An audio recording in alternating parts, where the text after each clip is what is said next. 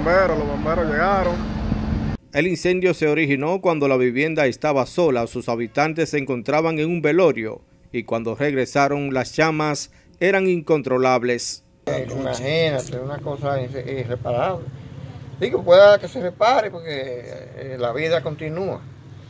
Y fíjate, este pueblo me conoce, que siempre me ha visto trabajando. La gente, donde quiera, maestro, maestro, y por aquí, pero es porque me ven trabajando, pero es con mis dos brazos que yo vivo. Yo no tengo finca, ni vaca, ni eso.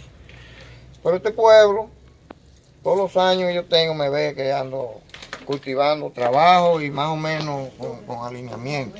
Al lugar se presentaron cinco unidades de los cuerpos de bomberos de los municipios Mao y Esperanza. Nicolás Rodríguez y Altagracia Medina, propietarios de la vivienda siniestrada, apelaron a la sensibilidad de la población porque se quedaron con las ropas que tenían puesta. A las autoridades que por favor me ayuden con mi casa que se me quemó. No me quedó nada. Por favor que me ayuden para yo hacer mi casa. Eh, estábamos cumpliendo con un, con un motorio, ¿tú ves?